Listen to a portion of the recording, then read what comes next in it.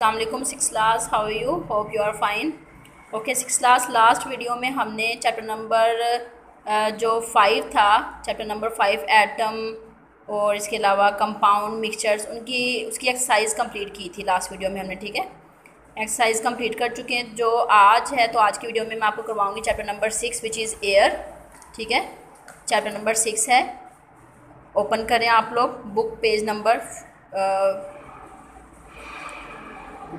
ठीक है? Fifty nine open कर लिया आप लोग सही है chapter number six air science का स्टार्ट करेंगे सिक्स क्लास तो फ़र्स्ट ऑफ़ ऑल तो एयर के बारे में देखते हैं, पढ़ते हैं, थोड़ा सा डिस्कशन इसकी कर लेते हैं अबाउट एयर कि एयर क्या होती है, ठीक है? तो बताएँ जी आप लोग एयर क्या होती है? आप लोग बताएँ एयर क्या होती है? चलिए मैं आपको बताती हूँ एयर एयर बी मैटर की एक टाइप है। अब एयर की बात करते हैं हमने थ्री स्टेट्स पढ़ी थी। सॉलिड भी पढ़ी थी लिक्विड भी पढ़ी थी गैस भी पढ़ी थी। क्लास फिफ्थ में आप लोग पढ़ के आए ना? सॉलिड लिक्विड और गैस अब जो ये गैस है, ये एयर है, ये गैशियस फॉर्म में होती है। एयर को हम गैस कह सकते हैं। ठीक है? गैस भी क्या है हमारे पास? मैटर की एक फॉर्म है। मैटर है। हमने ये पढ़ा था क्लास फिफ्थ में भी फोर्थ में भी, कि मैटर की टाइप्स थ्री होती हैं। सॉलिड लिक्विड और गैस एयर क्या है? गैस है। तो गैस भी मैटर तो हम एयर को कह सकते हैं कि एयर क्या है? मैटर है। मैटर क्या होता है? जिसका मैस भी हो, वज़न भी हो एंड ओकोपाई स्पेस और जगह भी घेरता हो।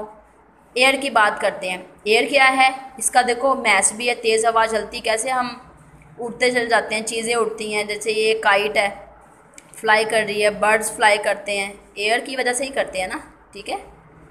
तो मैटर की ही एक टाइप है एयर गैशियस फॉर्म में होती है। तो एयर क्या होती है?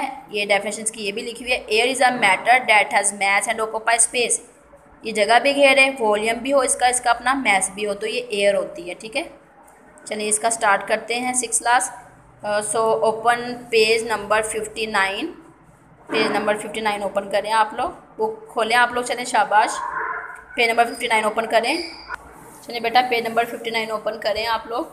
फिफ्टी नाइन पे टॉपिक हमारा है आज का air and its importance air हवा के बारे में पढ़ेंगे एयर के बारे में पढ़ेंगे एंड इट्स इम्पोर्टेंस इसकी क्या अहमियत है, ये भी पढ़े पढ़ेंगे इसके बारे में, ठीक है? So let start air and its importance topic air is a mixture of gases air क्या है? गैसेस का मिक्सचर है। कौन कौन सी गैसेस एयर में हो सकती हैं? हमने भी पढ़ा है कि एयर क्या होता है? गैसेस का मिक्सचर है, ठीक है? एयर मिक्सचर है गैसेस का गैसेस मिक्सचर है, ठीक है एयर ठीक है जी। अब ये पढ़ना है हमने इसमें कौन कौन सा मिक्सचर कौन कौन सी गैसेस हैं? गैसेस देखते हैं इसमें कौन कौन सी हो सकती हैं? नाइट्रोजन हो सकती है नाइट्रोजन ऑक्सीजन और इसके अलावा कार्बन कार्बन डाइऑक्साइड ठीक है, ये सारी गैसेस इकट्ठी होंगी तो क्या बनेगा मिक्सचर तो ये गैसेस का मिक्सचर क्या है? एयर होगा, ठीक है? एयर क्या है? Mixture of gases air is present everywhere आपको पता है ना? एयर हवा हर तरफ़ प्रेजेंट होती है और इवन इन वाटर हवा जो है पानी में भी होती है सॉइल मिट्टी पे भी होती है और इसके अलावा एयर एटमॉस्फेयर फ़िज़ा में भी होती है, ठीक है? यहाँ पर बेटा एक शॉर्ट क्वेश्चन बनेगा डिफाइन एटमॉस्फेयर आप लोग राइट कर लें मेरे साथ। पेज नंबर फिफ्टी नाइन पे, ठीक है? लिखें शॉर्ट क्वेश्चन शाबाश। और ये यहाँ पे लिखेंगे डिफाइन एटमॉस्फेयर ठीक है? इसका आंसर है air covers the earth like a thick blanket अब देखें, ये अर्थ है हमारी, ज़मीन, ठीक है? ये नीचे सारी ज़मीन है। इस ज़मीन के ऊपर देखें, एक ब्लैंकेट है। एक गुलाब बना हुआ है। इस ब्लैंकेट को आपने क्या नाम देना है? ब्लैंकेट है ना? गुलाब बना हुआ है। ठीक है? इस ब्लैंकेट को आपने क्या कहना है? एटमॉस्फेयर क्या कहना है? एटमॉस्फेयर ठीक है? थिक ब्लैंकेट इसकी डेफिनेशन क्या पढ़ेंगे आप लोग? इस एटमॉस्फेयर में क्या है? एयर है। Air covers air covers the earth like a thick blanket air ने एक ज़मीन की तरह ही एक थिक ब्लैंकेट, एक कवर किया हुआ है, उसको कहेंगे एटमॉस्फेयर एटमॉस्फेयर की डेफिनेशन बताइए, ठीक है? Air covers earth like a thick blanket चलिए बुक पे वापस आते हैं। Air covers earth like a thick blanket this is known as atmosphere आगे पढ़ेंगे इसके लेयर्स के बारे में। फ़र्स्ट ऑफ़ ऑल तुमने पढ़ लिया व्हाट इज़ एयर एयर क्या है? मिक्सचर ऑफ़ गैसेज होती है। फिर हमने एटमॉस्फेयर के बारे में पढ़ लिया। अब पढ़ेंगे इसके लेयर्स के बारे में। एटमॉस्फेयर तो पढ़ लिया। एटमॉस्फेयर थिक ब्लैंकेट को कहते हैं। There are four layers of atmosphere atmosphere की फोर लेयर्स होती हैं। कौन कौन सी होती हैं? राइट करें आप भी मेरे साथ। एक होगी ट्रोपोस्फियर ट्रोपोस्फियर पढ़ें आप भी क्या है? ट्रोपोस्फियर ठीक है? और क्या होगी? सट्रेटोस्फियर आप भी पढ़ें। क्या है बेटा? सट्रेटोस्फियर क्या है? सट्रेटोस्फियर नेक्स्ट है। मीजोस्फियर आप भी पढ़ें। मीजोस्फियर क्या है? मीजोस्फियर और लास्ट वन इज़ थर्मोस्फियर क्या बोला मैंने? थर्मोस्फियर ठीक है? ये फोर लेयर्स होती हैं एटमॉस्फेयर की, ठीक है जी? Many layers of air are present in the atmosphere atmosphere में बहुत सी एयर की लेयर्स होती हैं. Scientist have divided the atmosphere to four layer साइंसदानों ने चार लेयर बताई है इसकी. कौन कौन सी? Troposphere stratosphere mesosphere and thermosphere each layer of the atmosphere mix with the layer above her layer एक दूसरे के साथ मिक्स होती है। Only the lowest layer of atmosphere has enough air to support the life लेकिन जो सबसे नीचे वाली लेयर होगी लोअर लेयर होगी। कौन सी लोअर लेयर है हमारे पास? यहाँ पे ये वाली। ट्रोपो ये सबसे ऊपर वाली, जो हम ऊपर देखते हैं ना आसमान की तरफ़, जहाँ पे ये फ्लाई कर रहे होते हैं एयरप्लेन वगैरह। ये ये होगी ट्रोपोस्फेयर सबसे ऊपर वाली, जिसकी हमसे अर्थ अर्थ से ज़मीन से बुलंदी होती है, ऊंचाई होती है सिक्सटीन किलोमीटर तकरीबन ठीक है? जैसे माउंट एवरेस्ट की बात करें तो उससे थोड़ा सा ऊपर होगा। तो हमारी ज़मीन से 16 किलोमीटर के फासले पर कौन सी होगी लेयर ट्रोपोस्फेयर होगी, ठीक है? तो ये कह रहे हैं इसमें जहाँ पे हमारी लाइफ होती है, थोड़ा सा वो ऊपर है तो वो ट्रोपोस्फेयर होगी। Troposphere start the earth surface and goes up about eight kilometer to sixteen kilometer आठ सोलह किलोमीटर तक ऊपर होती है एटमोसफेयर में। Most weather conditions happen in this year जितने भी मौसमी तब्दीलियाँ आती हैं, तेज़ बारिश तूफ़ान और हवा चलती सारा, ये आपको ट्रोपोस्फियर में बता रहे होते हैं। ट्रोपोस्फियर में नज़र आ रहा होता है सारा का सारा, ठीक है? और इसकी ये जो, ये मैंने अभी आपको बताया, इसकी हाइट तकरीबन एट से सिक्सटीन किलोमीटर है। आपने एम सी क्यूज़ नोट कर लेना, ठीक है? आप भी यहाँ पर राइट कर लें एम सी क्यूज़ ये आपका एम सी क्यूज़ है। मोस्ट वेदर कंडीशन ये पढ़ लिया। As we go up through the layer जैसे जैसे हम लेयर्स के ऊपर ऊपर जाते जाएँगे ट्रोपो से ऊपर जाएँगे तो टेम्परेचर भी कह रहे हैं कि टेम्परेचर भी और प्रेशर भी चेंज होता जाएगा। Air pressure decrease as we grow तो हम जैसे जैसे अपर लेयर पे जाएँगे ट्रोपोस्फेयर स्टेटोस्फेयर पे जाएँगे तो टेम्परेचर और प्रेशर चेंज हो जाएगा। फिर मेजोस्फेयर पे कुछ और होगा थर्मोस्फेयर पे कुछ और टेम्परेचर और प्रेशर होगा, ठीक है? अब इसकी इंपॉर्टेंस हमने पढ़नी है कि एयर हमारे लिए अहम कैसे है इंपॉर्टेंस इंपॉर्टेंट क्या है इसकी? क्या इंपॉर्टेंस है, कैसे हमारे लिए अहम है ये? एयर के बारे में पढ़ लिया एटमॉस्फेयर के बारे में पढ़ लिया, इसके लेयर्स के बारे में पढ़ लिया, अब इसके पढ़ने लगे हैं इंपॉर्टेंस के एयर हमारे लिए कैसे अहम है। आप बताएँ। चलिए बेटा आप बताएँ, कैसे हो सकती है एयर हमारे लिए इम्पोर्टेंट एयर से हम क्या करते हैं? हाँ जी, हम एयर में सांस ले सकते हैं और जलाने के लिए भी ये अहम है और फ़िश वगैरह एनिमल्स भी इसमें सांस लेते हैं, पौधे भी इससे रिस्पायर करते हैं, ठीक है? स्टार्ट करते हैं इसकी importance first point is we breathe in the air हवा में हम सांस लेते हैं we can't live without it हम हवा के बगैर ज़िंदा नहीं रह सकते। Air is needed for burning air जो है, वो जलाने प्रोसेस के लिए भी अहम होती है, ज़रूरत होती है उसकी। We pump air into footballs footballs में बैलून्स में टायर्स में, गाड़ियों के टायर्स में व्हीकल्स गाड़ियाँ। गाड़ियों के टायर्स में हवा भरने के लिए भी हवा की ज़रूरत होती है तो हम उसको क्या कहते हैं? पम्प एयर पम्प ठीक है? एयर पम्प होते हैं एयर पम्प से एयर फिल की जाती है।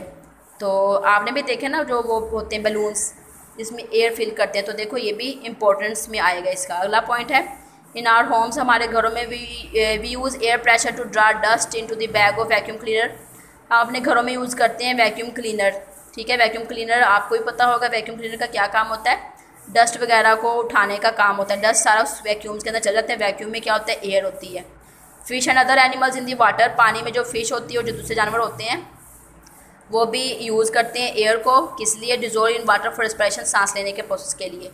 लेकिन वो ऑक्सीजन जो है, वो पानी में डिजोल्व हुई होती है। लास्ट पॉइंट है प्लांट्स यूज़ एयर यानी कार्बन डाइऑक्साइड को पौधे यूज़ करते हैं। कार्बन डाइऑक्साइड भी एयर ही है। अभी मैं स्टार्ट में बताया था एयर मिक्सचर ऑफ़ गैसेज है। टू मेक देयर फ़ूड अपनी खुराक बनाने के लिए प्लांट यूज़ करते हैं एयर को। ठीक है, यहाँ तक इसकी इम्पोर्टेंस हो गई। जो ब्लॉक है पे नंबर फिफ्टी नाइन पे येलो वो पढ़ते हैं क्या है। यहाँ पर लिखें शॉर्ट क्वेश्चन इसमें से बनेंगे। एग्ज़ाम्स में आपको आ भी सकते हैं। ठीक है शॉर्ट क्वेश्चन है define wind define win win और जो सेकंड शॉर्ट क्वेश्चन बन सकता है, इसमें से differentiate between wind and wind win ठीक है सो स्टार्ट करते हैं। विंड क्या है? Moving air is called wind हवा जो चल रही होगी, उसको विंड बोलेंगे। तो आगे बस यहाँ तक तो नोट करना है, ठीक है? आगे मैं पढ़ा पढ़ाया तो कुछ नहीं करना, बाकी यहाँ स्टार्ट करेंगे। Difference in air at air temperature creates winds जब हवा के टेम्परेचर में तब्दीली आएगी तो उसकी वजह से हवा जो विंड होगी चलेगी। विंड्स कैन मूव स्लो और फास्ट विंड जो है वो स्लो भी हो सकती है फास्ट भी हो सकती है। ठीक है? और आगे है wind comes from different directions हवा की मुख्तु किस्म की डायरेक्शन होती है। वैसे बेसिकली फोर ही हो सकती है, हर तरफ़ से घूमती है। नेक्स्ट यहाँ से याद करना है आपने, a wind vane shows wind directions ठीक है, बस यहाँ तक. एक विंड है मूविंग एयर और एक विंड वेन है शोज़ विंड डायरेक्शन ये दो याद करने हैं आपने, ये शोर्ट क्वेश्चन है. Scientist make forecasting about weather with the help of wind vane तो विंड वेन की वजह से ही साइंसदान मौसम की तब्दीलियों का पता लगाते हैं. ठीक है ना? न्यूज़ में आता है ना कि मौसमी खबरें या न्यूज़ में क्या बताते हैं? न्यूज़ में कि आज बारिश होगी या मौसम अच्छा होगा या गर्म होगा. तो वो सारा साइंटिस्ट किससे पता लगाते हैं फोरकास्ट कैसे करते हैं विंड वेन से। क्योंकि विंड वेन क्या करती है? डायरेक्शंस का पता करती है, ठीक है? डायरेक्शंस के बारे में बताती है। Next come on page number sixty sixty open करें, चले, शाबाश। ओके सिक्सटी पेज पे आए हैं आप लोग। कंपोजिशन ऑफ़ एयर पढ़ना है। एयर पढ़ लिया हमने। एयर क्या होती है? एटमॉस्फेयर क्या होता है? लेयर एयर के बारे एयर की लेयर्स पढ़ ली हैं। और लेयर के बाद हमने पढ़ लिया इसका कि इसकी इंपॉर्टेंस क्या है, ठीक है? विंड और विंड विंड के बारे में भी पढ़ लिया नेक्स्ट पढ़ेंगे कंपोजिशन ऑफ़ एयर के कितने परसेंट कौन सी गैस एयर में प्रेजेंट है? ये सारा आपका एम सी क्यूज़ हैं। अच्छी तरह से एम सी क्यूज़ को लर्न करना है, ठीक है? स्टार्ट करते हैं। About seventy eight percent air is nitrogen gas हवा में तकरीबन सेवेंटी एट सेवेंटी एट ज़्यादा नाइट्रोजन है। और about twenty one percent air is oxygen twenty one percent oxygen है। बाकी जो होगी पॉइंट ज़ीरो थ्री और पॉइंट ज़ीरो फोर वो कार्बन डाइऑक्साइड होगी। उससे जो कम होंगी, वो बाकी क्या है?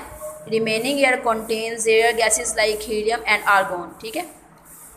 हीलियम और आर्गोन जैसी गैसेज प्रेजेंट होंगी इसके अंदर।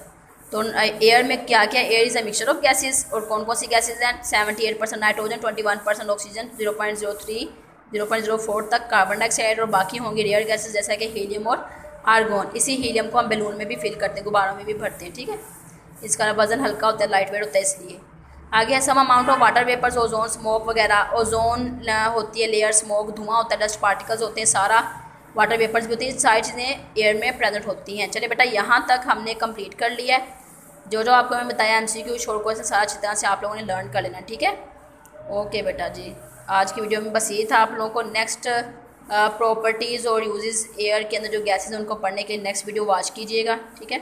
यहाँ तक आप लोगों ने लर्न करना आपको ये भी बात बता दूँ सिक्स क्लास के जब आप वापस आएँगे, जब स्कूल रीओपन होंगे तो आपको अगेन ये जितनी भी चीज़ें आपको बताई जा रही हैं अगेन लेक्चर नहीं डिलीवर किए जाएँगे, नहीं पढ़ाया जाएगा, जो आप वीडियो पढ़ रहे हैं वीडियो के साथ साथ रीड कर रहे हैं लर्न कर रहे हैं, इसी में से एग्ज़ाम्स आएँगे, ठीक है? जिस तरह से आपको गाइड किया जा रहा है एम जैसे मैंने कहा है एम में से एम लर्न कर लें शॉर्ट क्वेश्चन बताएँ शॉर्ट क्वेश्चन लर्न कर लें, यही जो है वो चीज़ें एग्ज़ाम्स में आएँगी आपकी, ठीक है? अच्छी तरह से इसको आपने पढ़ लेना ओके बेटा थैंक यू अल्लाह हाफिज़।